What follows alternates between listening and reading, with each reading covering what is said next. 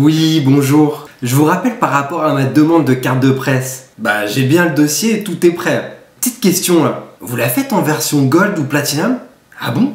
Le bonus du jour? C'est un journaliste grillé, mais alors grillé en flagrant délit d'initié. Selon le Guardian, il s'appellerait Neil Collins, éditorialiste pour le site spécialisé Breaking Views, propriété de Reuters depuis presque un an. Son crime?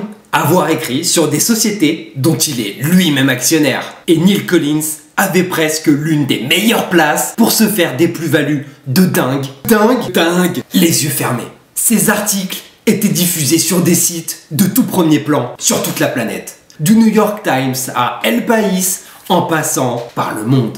Autant dire que lorsqu'il écrivait sur BP ou encore Mark Spencer, le cours des actions concernées suivait le sens de ses analyses. Scandale, manipulation, enrichissement personnel Eh ben non, on n'est même pas sûr qu'il ait fait des plus-values. Un journaliste, ça fait des enquêtes et des analyses pour un papier.